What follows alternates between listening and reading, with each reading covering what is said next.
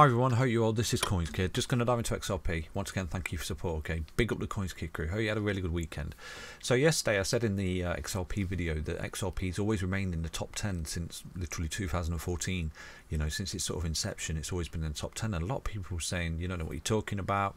You know, XRP's not been in the top 10. It's a scam coin. It's a shit coin. Why do you cover it? And things like that. You get all them kind of trolley comments every day. You know, even when I put things on Twitter, people say shit coin. But listen, yeah, I've always said to you, anything that's been around the block and got longevity and it's got legs, you've got to pay attention to in this space. And this is why I do cover XRP.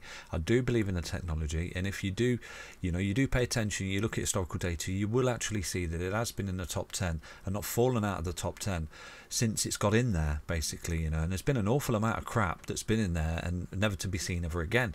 So this is why, you know, um, not financial advice, but please pay attention to XRP, okay, and, and, ignore the volatility going forward because it's an amazing tech. But anyway, uh, this is the current um, capitalization market rank on CoinMarketCap, okay, and on CoinMarketCap you can actually get historical data. So I'm going to show you going through the years right now, you know, not to bore some, I do apologize, but where XRP has retained this top 10 uh, stat right now, you know, and this is why I believe in the project. I think it's a great project, and you will equally see as well. There's some really dodgy names in there that you've never even heard of, and this is why I always say to you, you know, there's a lot of crap that sort of comes up and tails off. You know, don't be, don't be sort of fooled by all this it solves this and it solves that and it'll make you a cup of tea and things like that you know all these sort of problems it's going to solve. Just pay attention to the ones that are making you know big big steps in the space. And again you know for me xrp is one of those. And it's showing longevity you know and it's been around the block which is something you can't ignore uh, so let's let's go. Let's look at the historical data here. So this is current market capitalization. You can see its rank at the moment is six. Okay, let's go back through the years. 2014. So this is 2014. Uh, this is the ranks here, the market capitalization ranking for um, XRP. Uh, wow, I mean, look at this market cap here, 31 million. Look at the market cap of Bitcoin give me a time machine, you know. And, and, this is the thing here, you know. Here, if I'd have making videos for you, I would have been saying it's going to do this, that, and the other, and you would have been trolling the videos and saying I don't know what I'm talking about. But these things, like I've always said to you, patience is key. You know, there's a saying, isn't there? Time in the market beats timing the market. For example, here, with the volatility of XRP going up and down, it was trading at 0.003 cent, just under half a cent. Wow, you know, would you be happy buying that price tag today? I certainly would be. You know, will it ever get there? Who knows? But you can see that market cap right there was 31 million. So again, it was in the top 10, wasn't it? So let's take a look at 2015. Looking at 2015, XRP actually made huge headway there. It actually did a 10x in a year from its 36 million market cap to 365 million and actually sent it into second place. So in June 2015, it was actually, I mean, wow, you know, looking to go back there. Equally, Bitcoin uh, was doing okay as well. That actually lost quite a, a, lot of market capitalization. That lost half its capitalization because I'm sure it was around about $500 the previous year. So let's take a look at 2016. For 2016, we again take a look. We, we lost a bit of uh, uh, market capitalization and market rank to Ethereum. Obviously, Ethereum's still there or thereabouts. I think it's still second, isn't it? But XRP was third. You know, Litecoin's still about. The DAO, I, I don't know about that. NEM, I think, still there somewhere. Dash, that's in there somewhere. What the hell is that? Lisk, I think I've heard of that. Dogecoin, obviously, I never heard of that. Never heard of that. Monero, Waves is still there.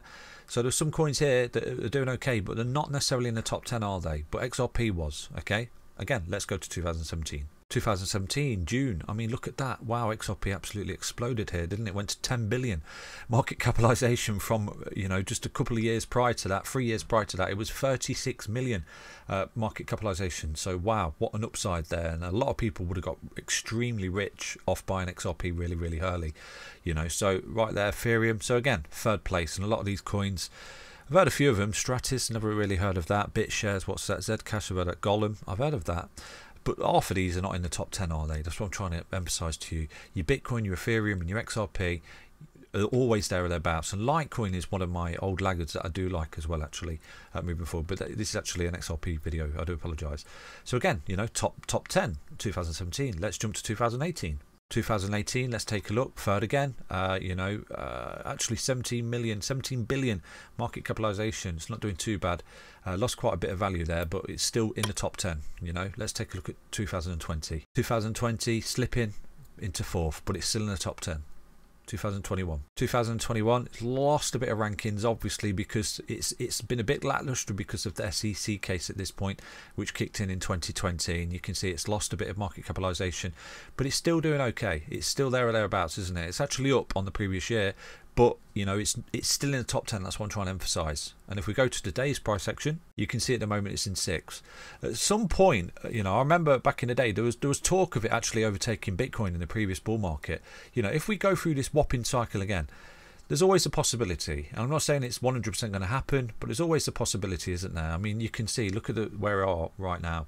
It's $17 billion market cap. Bitcoin's all the way up there, almost half a trillion dollar market cap. It's got a lot of work to do, but anything can happen. If you've seen in previous cycles where XRP just explodes, you know, keep an eye on it. But again, nothing I say is financial advice, but all I wanted to do is emphasize to you that, you know, XRP has been in the top 10, regardless of what other coins are coming in and out, you know, XRP has always been in the top 10. So that's something you definitely do need to pay attention to going forward, okay? Let's dive into the charts. So looking at XRP on the hourly time frame here, you are coiling up here for some kind of move. Obviously, this is a key low right now on this zero fib at 03514. If you do start to roll here and come down, then this is a bit of a fake out and you're rolling, okay, and you're going to start to retrace. We can't afford to lose this wave one high because if we do, we're invalidating this impulsive move to the upside, okay, and potentially what you might start to do is start to retrace and fall back to this low. And again, if you do start to lose that low, all this is is a correction back up to that high and you're looking to move impulsively down to the stairs. So there your key levels of support right right now. I'll drop a horizontal line on that. That's your wave one high at 03364 and this, this is the formation of this new uptrend okay which needs to hold going forward and that is at 02876 for XRP so what am I expecting you know? But just because I'm expecting it doesn't mean it happened. But right now what I think you've got here is a major level support for XRP okay? You can see that you're coming down. Support support support support okay? So we're coiling up here. I do think that what you did you broke out of a horizontal just there some kind of symmetrical and right now you're falling back to the neckline as support and you're getting really close to some kind of apex apex there. Equally you've got this level of resistance coming down and then you've got this level of support. So this could actually be some kind of little flag coming back some kind of bull flag then once you do start to zoom out where you can have an impulsive breakout. So this this particular pattern here this is some kind of symmetrical triangle that you're broken out of falling back to support and you're looking to break out of okay? So this level here if you do start to break this level of resistance this could be a precursor to the fact that you're going to start to break out here and test this one fib. And like I said to you if you break this free high it's confirming that you've got a fifth wave here and these will be your targets going forward for XRP. Okay, so at that point, you know, XRP could actually get really overextended here and go to any of these targets. The maximum target, in my opinion, for an overextension and, and sort of big, big, massive push would be around about 44 cents, which is a 2414 up there. Okay, and that potential green line there, which is 050 fib on the macro time frame, the test of resistance. At that point, you start to come back in a large correction back down to this low. Now, if XRP in the future can hold that, that's an amazing signal right there that the bottom is in. Like I've said to you, okay. So I'm looking for here is a break, and I think you're already confirming it. Now this this particular pattern always has a target from there to there, and you can see you've already broken out, okay. But what you've done, you've fallen back to support of this target, the neckline. So you've broken out just there, okay? That is your technical target at the moment, but you're coming back for the support. So you're getting some kind of break here. And again, this is some kind of flag that's coming back. And I do think if you start to close above this low resistance, you're confirming an impulsive move here and the potential that this wave 4 correction is over. And right now you come up in a wave 5 and like I said to you these waves have subsets of waves within inside them. Okay so let's look for this. Over the next couple of days here leading into the rest of the week I do expect that XRP is looking to break out looking to break bullish. At that point you're going to get really overextended. And it's at this point wherever you get overextended you're going to start to come in for the big big retracement here.